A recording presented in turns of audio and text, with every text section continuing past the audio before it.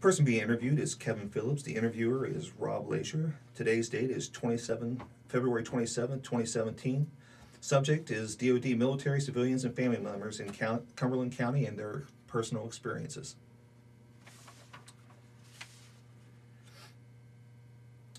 Kevin, can you talk to me a little bit about your past uh, experiences and what brought you to Cumberland County, Cumberland County, and your military history? Um, I was uh, born in Minneapolis, Minnesota, uh, but I'm, I'm was primarily raised in uh, Montana, uh, Helena, Montana. Uh, when I was in high school, I was in uh, I wrestled one year, was in cross country three years, track four years, um, and then I went to the University of Montana where I got my college degree. Um, and then, do you want me to go into my military piece right now, or? You continue talking about your family life. Okay. Um, uh, I have a. Uh, I was. I was first married in 2001 uh, on uh, uh, October 7th, or it was October 1st. I can't remember. It was the day that we started bombing Afghanistan after uh, 9/11, um, and I'll talk a little bit about that later on. The marriage ended, and then um, because I was in uh, this area. I met a woman out of Pittsburgh, uh, formerly Gwen Hall, uh, uh, now Gwen Phillips, of course, and uh, we were uh, married on uh, October uh, 20th uh, in 2012. Okay, can we back up just a little bit further? Sure. Because I want people to understand where you're coming from. Yep. And what actually brought you here to Cumberland County. So let's go back into what brought you into the military. You know what? Um, I I grew up with uh, hearing stories about the military, and I, I developed a love, especially for the uh, Army. Uh, and the first person that influenced me was my uh, grandfather, uh, Frederick uh, Woodmansee. We call him Fred, and uh, he was raised in England, a, a part of a family that raised sheep, and they're it's a, a society that um, where you're born is where you're going to stay, and uh, so he would have he dropped out of um, grade school, I think at uh, age 14, uh, and at, shortly thereafter he joined the British Territorial Army, which is the equivalent of the uh, America's uh, National Guard, and uh, that was right around World War One, and um, he uh, he was in England for a year and a half, and then he was in the British trenches for three and a half years. Um, and some of the family stories that we've heard about them is uh, during the World War One, they would house the soldiers with families, unlike America, where there's you can't do that under the U.S. Constitution. And one of the stories was they weren't fed a lot by that family, and the woman uh, the, of the household would say, "Eat up, uh, boys. There's plenty more in the pantry." And one of the soldiers at one point said, "Well, mom, we wish you'd uh, get more out of the uh, pantry." And of course, uh, that that didn't happen. Um, so in 1915, he was sent to the uh, trenches. He was uh, infantry, uh, also secondary MOS, military occupation specialty of mule tender, and uh, he would take care of the uh, mules. Um, everybody in his platoon would get killed time and time again, and it got to the point where he refused to make friends because it hurt him so bad that um, it, it, it just tore him up. So he kind of stayed by himself towards the end, uh, just because it was so brutal uh, in the trenches. Uh, he said about the mules that they were very smart, and if you were mean to a mu- mule, the mule would get back to you. So he was very careful to take care of the mules, and they took care of him. Hated officers. He did not like officers. Um, because of that, he refused to be promoted to a sergeant. He refused to be promoted to a officer, and his saying that he passed down uh, from uh, family member to family member was never volunteer when you're in the army. Never volunteer. Um, and one of the other stories was the officers got strawberry jam when they were in the trenches, and the enlisted got marmalade, and that they had marmalade on their toast day after day after day, and he could never eat marmalade um, jam. It, he just refused to uh, eat it. Uh, he was gassed a few times, and then on the last day, on Armistice Day, uh, which was uh, uh, November 11th, 1918, before they signed the armistice, he was injured by a shell that exploded, uh, howitzer shell, and he was in a British hospital for a year. Migrated to America, married my, my grandmother, and and that kind of is the rest is history. Except for my mom said that when there were thunderstorms, um, it, it brought back terrible flashbacks for him, and he would pace around very nervously in the uh, living room. They lived on a ranch; they were ranchers, and it, it you know today we know that's uh, PTSD, uh, but they didn't know that back then. It was shell shock or whatever. Um, so I mean, the war deeply affected him. He was a good a good man, but um, you know the, the, war definitely um, affected him. And then there was my father, Richard Lee Phillips, and he was also uh, and that they were their ranch. My Frederick Woodmansee, uh, that ranch was around Highwood, Montana, and my father was also raised around Highwood, Montana. Um, and uh, he went to Montana State College where he went through ROTC. And at that time, everybody uh, that was in college would go through ROTC or else you'd be drafted. It's far better to be a, an officer than an enlisted man. So he did that, and then he became a, a field artillery officer. And uh, he, most of his experiences that he conveyed to me were in Korea. He just stayed in the, the minimum three years and got out. But um, and again, they're they're not great stories. They're kind of horrible stories, but for some reason it made me fall in love with the the army, and it's uh, kind of how he got abused. Uh, you know, as as any of us that have been officers, sometimes you get around bad officers that are higher ranking or just bad situations. Um, and he talked about Korea being bitterly cold. They stayed in these Quonset huts. Uh, they were always on field maneuvers up on the DMZ. Now, this was not during the Korean War. It was after the Korean War. It was in the late 50s.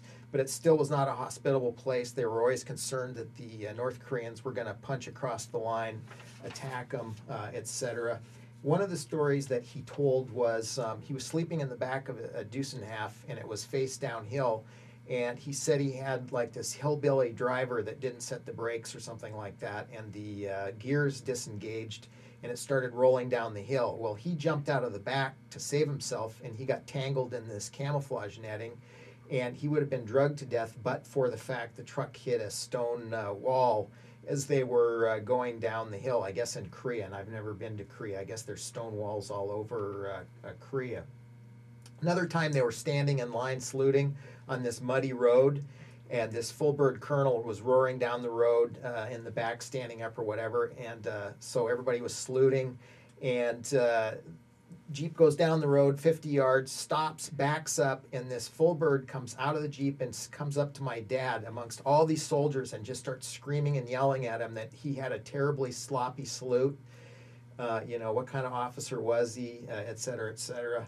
Um, just crazy stories like that. Another time, he and a warrant officer and my dad was would have been a first lieutenant at the time. Were sent into this uh, village, and um, they were looking for enlisted soldiers um, who weren't supposed to be in that village. And the reason that the enlisted soldiers would go into the village is because they wanted to drink and they wanted to. Uh, uh, to shack up with the prostitutes, and so they saw this enlisted soldier and this the soldier started to run away, and the crusty old warrant officer took up the gun and was going to shoot the guy in the back, and my dad hit his hand, and uh, the gun went off, but the the gun had been sh- knocked away enough that the guy didn't get shot in the back, and my dad was like, "The guy's running, but we're not going to kill him for it."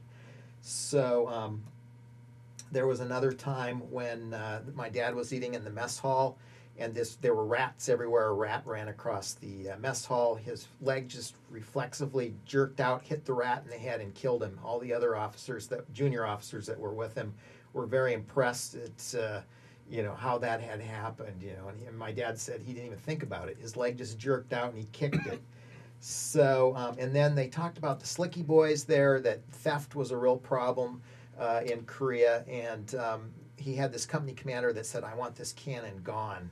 It was an old cannon, so they took it out from front of the um, headquarters building. My dad had it dragged to this um, creek, and uh, the next morning it was it was gone. They had somehow come under the wire, and he never did figure out how they got it out of there, but they did. They were very industrious. So anyway, just kind of based on those stories, I was always very interested in uh, going into the um, army. I wanted to. Uh, it, it, sounds like you had a long a a long heritage of military um, with your father and your grandfather. Yeah, and supposedly we had some uh, some of my kin were also in the Civil War. I've heard stories about drummer boys on both sides that fought. Um, I haven't done the geology or genealogy on that. That's a Um, very nice background that you, you you've summed up for us so far.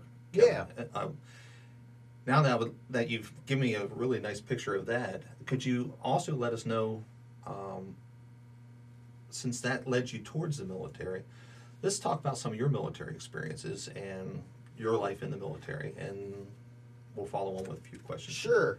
So I was interested in high school in joining the uh, National Guard. I tried to convince my mom uh, that I should uh, join the Montana National Guard between my junior and senior year. Uh, she followed along the lines of her father, Frederick Woodmansee, and it was like never volunteer. She didn't like the military, did not think that it was a good idea, and she refused to uh, sign as uh, my parent to go early. Um, so I had to wait until I graduated from high school in uh, 1984. Um, I went down to uh, basic training down at uh, Fort Leonard Wood, started in June in 1984. Um, I wouldn't say that I was a natural soldier. Um, I, the drill sergeants put the fear of God in me. Uh, some of the other soldiers, I think, were a little more indifferent to the whole atmosphere. Um, but I did, uh, I did survive it. There were some uh, interesting and f- funny experiences for me. I went down with the Montana Buddy Platoon, and so um, we were all Montana kids. Uh, we were out at the rifle range one time, and, and they kept egging me the whole time. You got to try chew. You got to try chew. So I tried some chew out at the night range, about passed out. Um, and then uh, we went out on the FTX, uh, this three or four day FTX. And again, we're all from Montana, and there's these lights floating around outside, and we didn't know what they were. And so we're all running through the woods, and the drill sergeants are like, What is going on? What is this? And we're like, What are these things flying around? They, they're like, What? You've never seen lightning bugs before? They, they were just incredulous that, you know, who are these hicks from Montana that have never seen lightning bugs? But we don't have lightning bugs in Montana. So, um, so anyway, uh, I survived that. I, uh, I graduated in uh, July, I think, and then I had to start AIT almost immediately. But before I started, I had a few hours. I remember going down to the PX at uh, Fort Leonard Wood, and at that time they had the younger drinking age. So I bought a bag of M and M's and I, I had some beer, and I was in the PX eating my M and M's and drinking beer, and this woman with this German accent was like, "What in the world? Who would drink beer and eat M and M's?" And I remember the other woman saying, "Well, if you just went through basic training, maybe you'd be doing that too."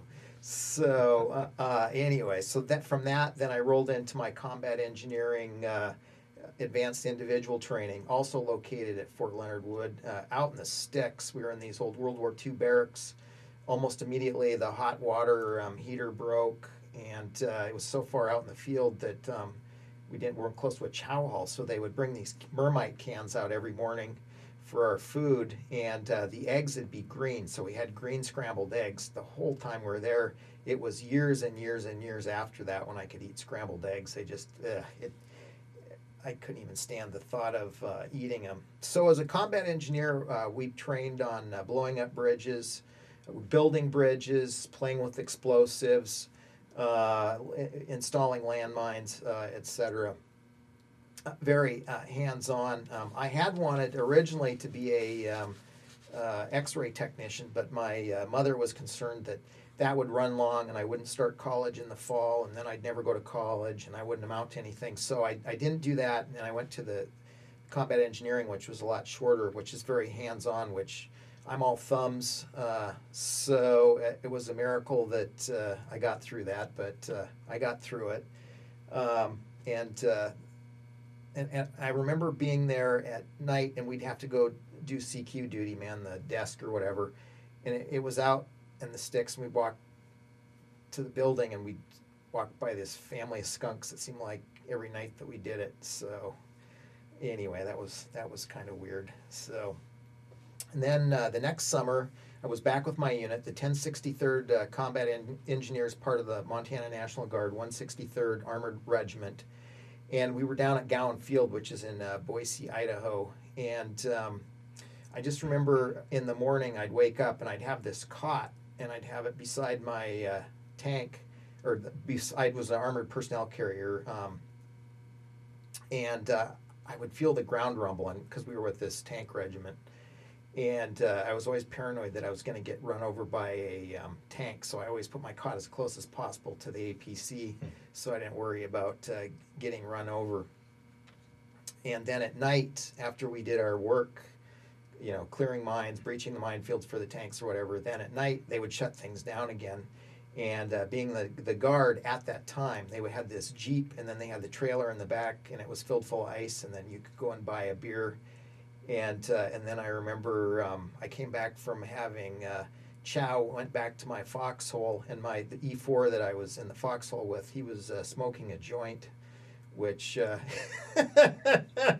which was uh, kind of interesting. But uh, I was a private at the time, so I wasn't expected to rat him out.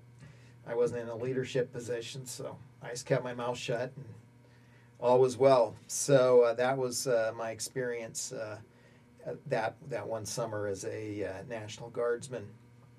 Then in 1986, uh, I was in the Sigma Nu fraternity house, and the guy by the name of uh, Kevin Pat Enright um, wanted to go to airborne school, and he wanted somebody to go with him. So I had to go take this special ROTC class, train up, do all that kind of stuff, and then uh, we went to airborne school. But as irony would have it, um, he went two cycles ahead of me, so I didn't even go through with him.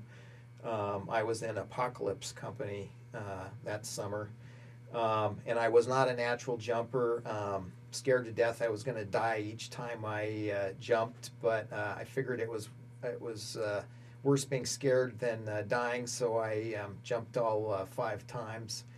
And um, there was one time, uh, and we used to have there would be Air Force Reserve pilots that would fly us, and they needed to get some training while they were having us jump. So they would do Napa Earth, where they would fly low, and then they would go all over the um, all over the Earth and so it made it a little jerky um, and then they would pop up or do whatever get to the right height to jump well i had already jumped and this is probably the third jump that we did and um, somebody got sick after i got jumped they threw up and then it just started this chain reaction everybody in the whole flipping plane threw up and uh, so we, we get back to the barracks and the um, company commander the cadre company commander gets up in front of us and he says, You know what, guys? He's like, You need to eat peanut butter and jelly sandwiches before you jump. You know why? Because he says peanut butter and jelly sandwiches taste just as good coming up as they do going down. So I always remembered that. That was uh, that was kind of crazy. Sounds like sage advice. so, and then I was primarily with ROTC cadets, and I remember the cadre first sergeant loved us because there were like two weekends um, during our class, and it was the first time that he'd been there as a cadre that he wasn't called out to go down to the jail to bail somebody out either the Friday night or the Saturday night. So, and that makes sense. I mean, ROTC cadets, we weren't going to be too horribly uh, wild. And the guy next to me on the stick, he broke his toe on the second jump, and um, and he talked to the medic, and the medic said, you know, you, you, can go home, heal up, and come back and finish your jumps, or you can just gut it out. The, the, he was like, I am not coming back here, and he gutted it out. And every time he landed, I would hear him scream when uh, that toe hit the ground. But you know what? He did it. He got in all of his jumps and got his jump wings. So anyway, kind of wrote down some of this stuff. Let's see if I'm getting everything here. Um, and then in the summer of 1987, I did ROTC Advanced Camp, and I did that at uh, Fort Lewis, uh, Washington. And uh, I really enjoyed my ROTC class at the University of Montana. In fact, I still stay in touch with a lot of those guys through Facebook. Uh, but I can't say that I really enjoyed uh, the advanced camp. Uh, I thought it was kind of a cheerleader camp. I thought I was the person that got up in front of everybody and kind of beat their chest and you know, if you were the extrovert's extrovert, you'd get the high score or whatever. So, and I knew that I was going to be going guaranteed guaranteed reserve. I knew I wanted to go to law school, so it wasn't incumbent on me as much to play the game. Uh, but I, I kind of, I can honestly say that I didn't enjoy uh, the advanced camp uh, as much. So, and then I got my commission in 1988, uh, and I was, uh, I, I put intelligence officer at the top of my list but if you're a reserve officer, and that was the sexy thing to be way back in the day was intel. Everybody wanted to be intelligence. But with the uh, reserve, since everybody wanted to be an intelligence officer, they said you had to find a slot uh, in to go into in order to be an intel officer. So um, anyway, I could. Um, my buddy filled the one intel p- position in the state of Montana, so I couldn't uh, fill that. So they made me a quartermaster officer. Best thing that ever happened to me. Went to my quartermaster officer basic course in 1989. I said, "Look, th- three strikes, I'm out if I don't like this." I absolutely loved the course. Thought it was great. I liked the people there, liked the atmosphere, and um, I, on weekends I would go around and explore the Civil War battlefields. Uh, I, I would uh, go to the uh, plantations or whatever, and I enjoyed the course of instruction at well as well at Fort Lee. So um, that that was great. I sponsored an officer from Yemen, took him around a little bit to include Virginia Beach. I thought his eyes were going to pop out of his head when we went down on the beach area. He saw the women in uh, bikinis and stuff. um, he he was uh, he was pretty nice. Um, Mohammed Al Shabibi, he was a, a nice guy. We did an FTX up at uh, Fort Hill. The student officer that was in charge got us lost. We were wandering through these roads with dust. We're in the back of these trucks. Finally, we got to where we were going. We came out and we were just covered in dust. There, I've never seen so many angry officers in my life. And then at one point, I got put in charge of um, a, a platoon or whatever, and I had these two Jordanian officers that were under me, and they were ticking me off for some reason. So later on, they came up to me and they said, "We need to pray to the east. Which way is the east?" And I was I was still ticked at them. I said that way, and I did a kind of a guess. I mean, I wasn't, I didn't know, but I thought it was that way. Well, later on, I I learned that I had them praying to the northwest. So anyway, what the heck, you know? I guess it worked out in the end. So. Uh, anyway, and then in uh, I'm gonna skip ahead to 1999. I was one of two officers, reserve officers, to be selected for the Logistics Executive Development course. That's the capstone course for logistics officers at uh, Fort Lee, um, and uh, I sponsored a Australian officer, although I said that he should have sponsored me, Tony Clough, uh, C L O U G H. Um, he was very outgoing, hard drinker et cetera, et cetera. And he was with some other ANZAC officers, and I did some stuff with them, and they were a lot of fun. Um, I enjoyed it greatly. And then we did a battle staff ride up to uh, Gettysburg, and that was very interesting. Uh, you know, you you can't get that type of uh, training anywhere else. So, and then in 2001, I was with a water supply company, or uh, actually battalion, and uh, I was part of Bright Star, and this was right after uh, 9/11, uh, right after I got married the first time, and then I went over to Egypt, uh, which was kind of a bad feeling because it was an exercise. They didn't cancel the exercise. They didn't give anybody any ammo over there, at least on the army side, and so you felt really defenseless. You didn't know what was going on or whatever, um, and we were with the um, Marines, and the Marines actually issued their uh, Marines uh, ammo, and they would post these guys on top of connexes. The Marines didn't have any equipment stolen. The Army, they had their connexes raided left and right because there was no ammo, and so people could go in there and pilfer it or whatever. So anyway, but I was, I was there, um, so I, I got, uh, I did the the Bright Star experience. And then through the uh, Montana Reserve Officer Association, with the war kicking off, um, I started to realize that all these soldiers were getting mobilized. And the problem was when you get your guard and reservists that are mobilized, um, it impacts their professional licenses. And I'm talking about either, you know, like beauticians, doctors, real estate agents or whatever, um, they go and then they can't do their their legal education or whatever, and then they come back and find that th- their their ticket's been punched, they've lost their license or whatever. So I actually drafted a bill, and the Montana Reserve Officer Association uh, sponsored it, and um, and then we wrapped in a couple other. Uh, measures as well such as recruiters were being denied access to high schools and um, which we said was not right, and they should be treated the same as uh, college uh, recruiters.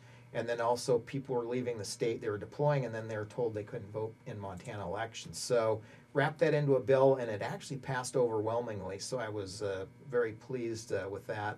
I suppose with the fervor of the war, uh, you know, people wanted to be patriotic or whatever, and it was the right thing to do. Quite honestly, if somebody goes and serves their country, they sh- should not lose their uh, professional license. So um, that was good, and that was in the uh, 2003 uh, legislature. In 2004, I deployed to uh, Afghanistan. I was a reservist. I was a major at the time. Uh, I was part. I was part of the Army Reserve slice with uh, Defense Energy Support Center, which was part of Defense Logistics Agency, and I was assigned to uh, Defense Energy Support Center Middle East, which was based out of uh, Manama, Bahrain. And uh, I went there. My orders said I was going there. Got there, and my boss said, "Oh no, you're not staying here." And Bahrain was actually pretty nice. There was beer there the quarters were okay. There was a house that was just for reservists and all that stuff. He said, "You're going to Afghanistan. You're the liaison." So um, I went to uh, Bagram. I was the, I got there in April of uh, 2004, and that's when the um, that's when the 10th Mountain Division was just starting to uh, rotate out, and uh, the 25th uh, ID was coming in from uh, Hawaii. So my role was to inform the headquarters in the Middle East what was going on with all the fuel. We had fuel in uh, Bagram, and we also had fuel down in Kandahar, and then we also had fuel up in Karshi-Khanabad, Uzbekistan, K2. So um, I primarily was based out of Bagram, but then I would fly down to uh, uh, Kandahar and ch- check on that situation, fly on a C-130 or whatever, and then I would check up at Karshi-Khanabad as well. Um, the situation got tenuous because um, we weren't getting the fuel. How are we doing on time? We doing okay?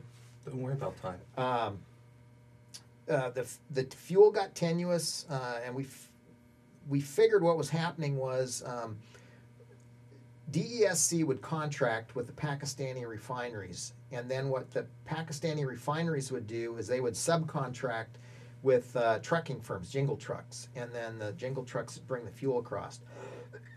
But it was dangerous work. The jingle truck drivers were not highly paid or whatever, and so um, th- there would be these slowdowns where all of a sudden the fuel wouldn't be coming across the border or whatever. And um, I, I, was getting pounded as the liaison officer uh, at uh, when I was in Bagram by the Joint Logistics Commander saying, "Hey, you know what's going on? You're not doing your job." Except it was getting pretty nasty. Um, and so at a certain point, I talked, and he got so mad. He was like, "You're not coming to my meetings anymore." So, and I feared I, he was going to shut me out of the building, and I wouldn't have access to the computers and all that stuff. And I talked to my boss down at uh, uh, Bahrain, and he's like, "Well, make, don't make it look like you're fleeing. Just stay a couple days, and then just ease your way out." Well, shoot, when that happened, I was down at the airport with 10 minutes later. I, I wasn't going to ease out anything. I was getting away from there. So I, I went up to Karshi-Khanabad and they were working on a fuel farm up there. They were trying to pay for it for uh, the Uzbek uh, military. so I finished out my uh, tour up there. But and let me back up a little bit. Bagram was interesting um, uh, in that. Uh, so the jingle trucks would bring the fuel in from Pakistan, and they'd bring them into um, uh, to Bagram or Kandahar, depending on you know the road had split or whatever. Um, but they'd want to make a little extra money, and we'd have um, seals on them, but they would figure out how to jigger the, uh, the where the fuel was coming out, and so then they would siphon. Well, if you siphon out fuel, um, it's going to show when you pump the fuel out. So how, what did they do when they they siphoned out ten percent of the fuel? They'd add ten percent water. So we'd get the fuel at uh, Bagram, and uh, they would have to run it through a kind of a filter separator deal to get out all the water. Now, ordinarily, the Air Force would say, "No way in hell are we going to use this fuel," because they're very, very fussy, and for a good reason. Because if you got water in your fuel and you're in an airplane way up in the sky, it freezes. And what happens when your fuel line freezes? That airplane drops out of the sky like a rock.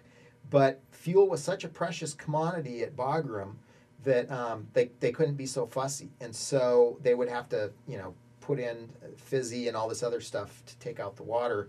And the Air, the Air Force actually uh, would use that fuel. But, I, but there was kind of an embargo, too, at Bagram at that time that um, if you were flying in, you had to have enough fuel to fly out, too, because planes sucked up so much fuel that they didn't want them to routinely uh, fill up there.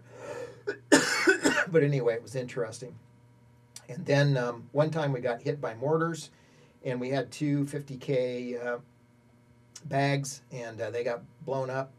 Uh, but the fuel, miraculously, we didn't lose much fuel. We had the environmental liners in and stuff, and they just sucked it back up. Excuse me. Are you okay? Yeah. Uh-huh. Take a second. It's okay. Yeah. So, um, anyway, they Well, they, that's that's okay. Did you have another thought you want to continue on with, Kevin? uh, yeah. Well, I, if you have a question, cut in. I'm sorry, I'm. That's okay. I- This is your story. I, I, I'd like to advance though a Okay. little bit, if you don't mind, to Sure. where, um, what brought you to this region, to, to Cumberland County? Or the Cumberland County area, and then what brought you to Cumberland County? Sure. Uh, what brought me here was um, I had just come back from, and if we have more time, I'll circle back uh, covering some of that. But I'd, I'd come back from uh, down at Guantanamo Bay, Cuba.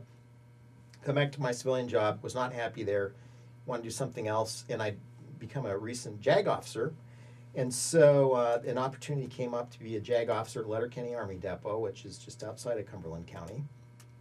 And so I did an active tu- duty tour there and uh, it, and it, it turned out to be a wonderful experience. I, I like the area. I like rural areas, and um, I got contract uh, attorney experience, fiscal law experience, admin law experience to include investigations, fifteen six uh, investigations, um, areas that I hadn't really had before.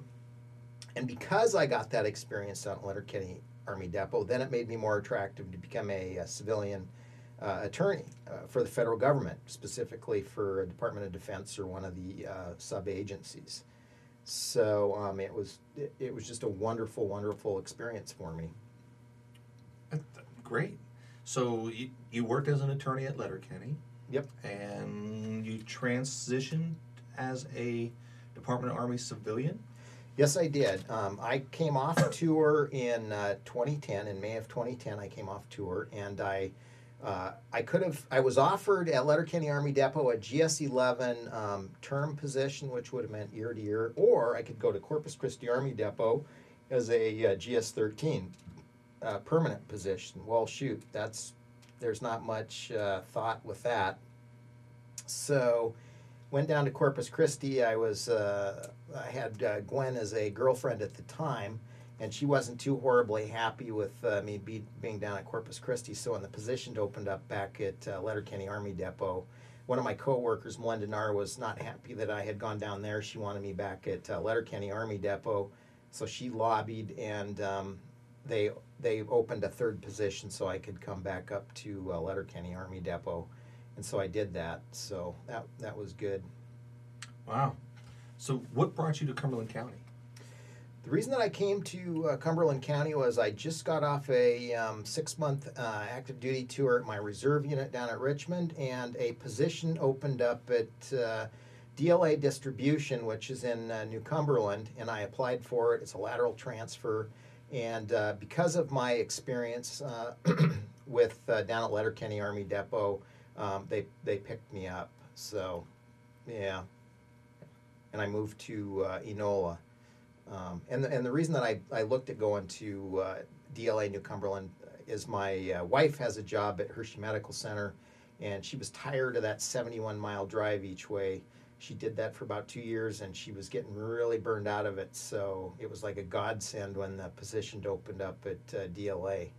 So it's good. And DLA distribution, it's it's the FedEx for all of the uh, military.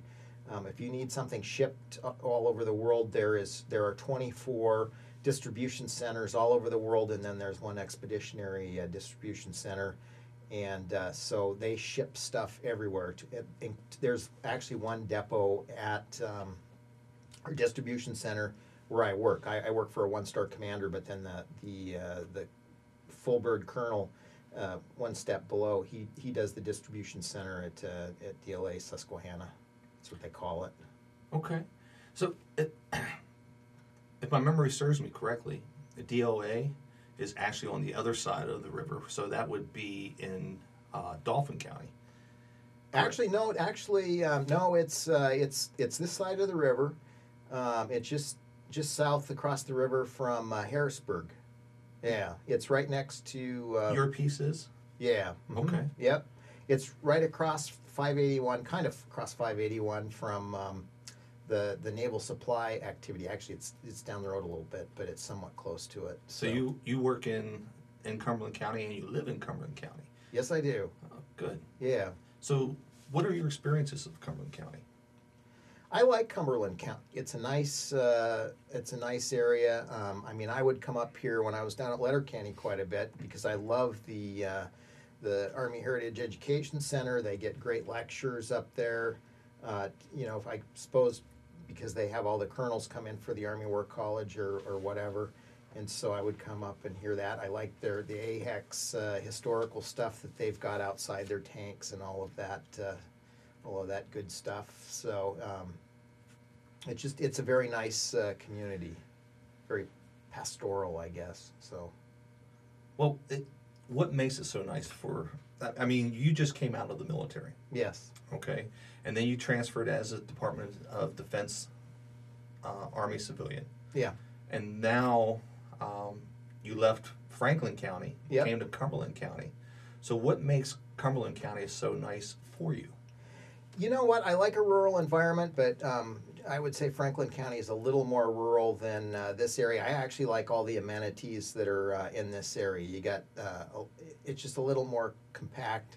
You got a lot a lot of stuff within a short amount of uh, distance. For example, you can go to Hershey. Hershey's got the, uh, the I think it's the Giant Center or whatever, and they have concerts there. And I've mentioned the AHEC here that gets world class lectures. Um, you know, you got a ski slope within a, uh short distance. Um, you know, you got Wegmans, which is famous as a grocery store, uh, very expensive, but has has high end stuff. Uh, you know, my wife loves Macy's. They got all kinds of Macy's around here. Um, so it's just a little more upscale than uh, Franklin County. Not to knock Franklin County, it has its own strengths. But um, this is just a little different. We live across the road from Al's of Hampden, which is this uh, great pizza place, and they've got all these uh, beers on tap, etc. Um, you know, you're not going to find that down at uh, uh, Franklin County. As a retiree for from the Army, how has the community treated you? Uh, you know, this is a very uh, military centric area just because you have naval supply.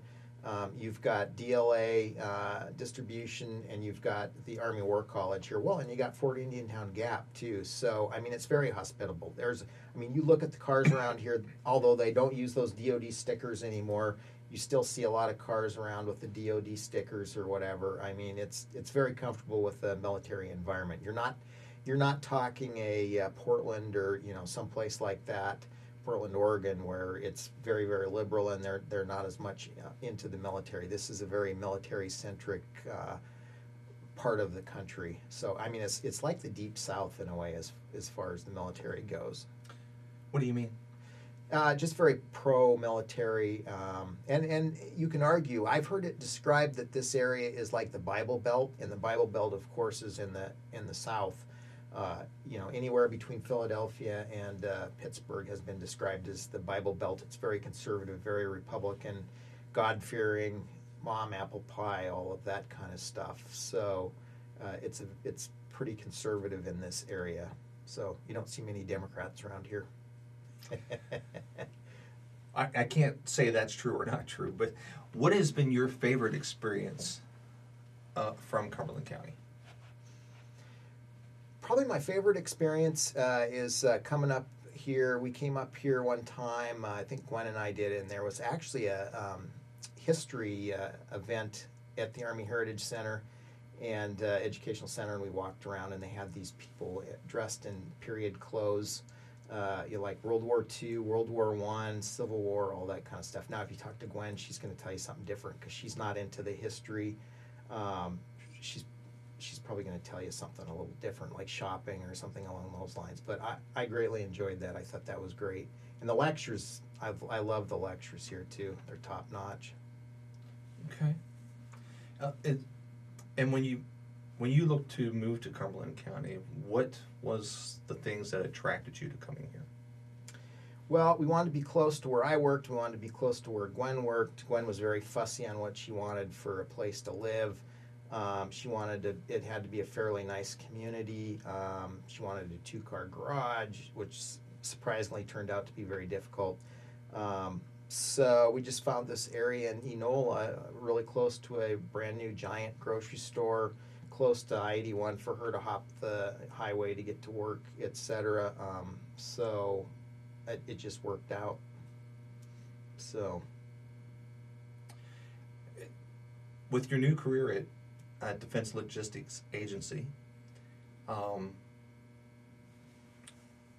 how does that impact Cumberland County? uh, I mean, as far as your job goes, I know it, it does, you don't actually work on community stuff primarily, but I'm, I'm saying yours is more Army stuff. But how, how do you impact Cumberland County? Well, I mean, I, I work on, uh, I, was hired to do the uh, labor law and uh, the employment law. And versus down at Letterkenny Army Depot, I was kind of like a utility player. I did everything. Um, so I'm dealing with your federal employee uh, unions. I'm dealing with you know people that there's misconduct issues or whatever.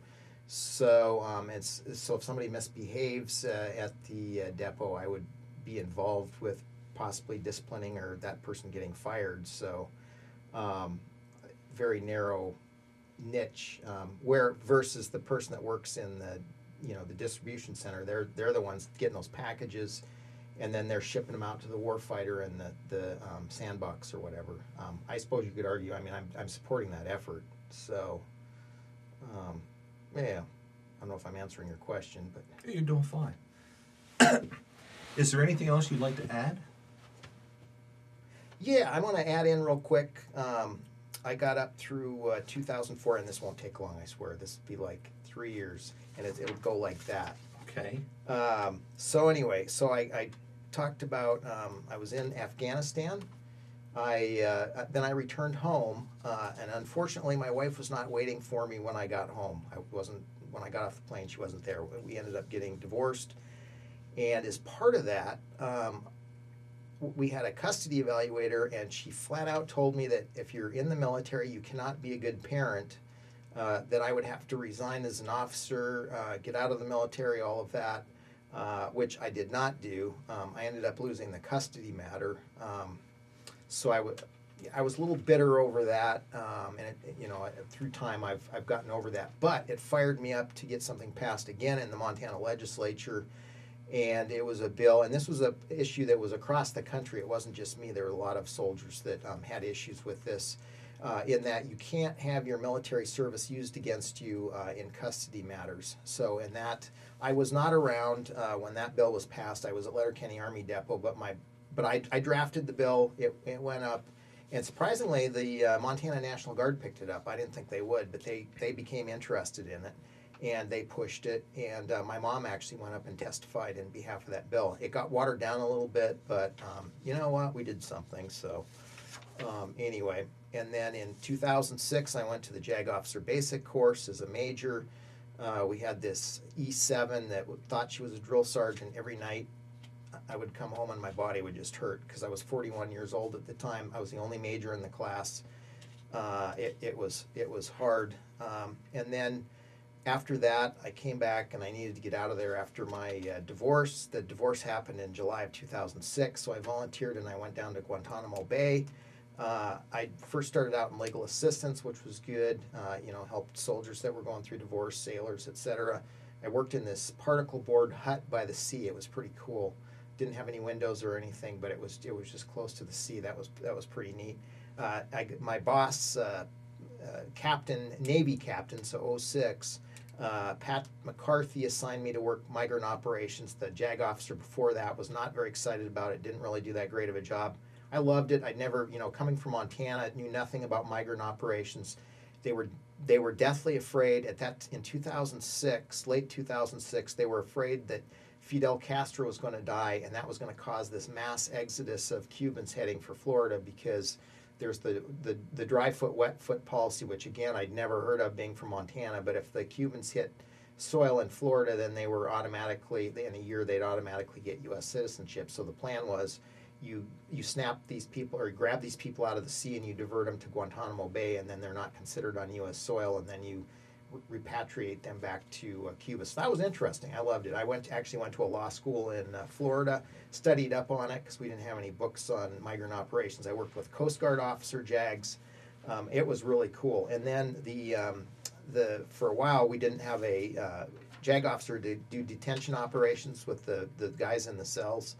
And so I did that towards the end of my time there uh, to include. Um, I was involved with the only Canadian that was uh, down at Guantanamo Bay. He he was there, and his parents sent a um, Canadian attorney down from Edmonton, uh, Calgary, and uh, this guy refused to meet with his lawyers, which were American lawyers. And so I went and talked to him, and you talked to him through the door, and he said. Um, no, I will only talk to my Canadian lawyer. And so I said, Your Canadian lawyers are here. They your parents sent them down. And so for the first time ever, he agreed to meet with lawyers and eventually they negotiated his release back to uh, Canada. So that was my little little tiny piece of uh, history. So um, and that's that's basically it. So thanks for indulging me and letting me finish my my Not a little, problem, this is your story. my little piece. So Is there anything else you'd like to talk about with Cumberland County? Anything that, um, that we might have missed that, jarred your memory or, or things you might like to discuss? You know, I'm still, I've been around Cumberland County, but we just moved up here. We moved up to Cumberland County in uh, November of uh, 2016. Uh, and as I mentioned, we're in Enola. It seems like a fast growing uh, county. Um, I like it. Um, it, it. It's, it seems like a good place to live. It'd be a good place to uh, raise a family. So, um, and I didn't mention my daughter actually lives down in uh, Plano, Texas with her mom. In fact, I'm flying down Friday to get her for uh, spring break. So she's in eighth grade down there. So, Oh, very good. yeah, Well, Kevin, I thank you for your time. Yeah. I really appreciate you coming in for this interview yeah. and, uh, appreciate you sharing your experiences with us in Cumberland County and your life experiences. Well, I appreciate being here. It's wonderful. This is a wonderful program that you're doing. Thank you. Yeah.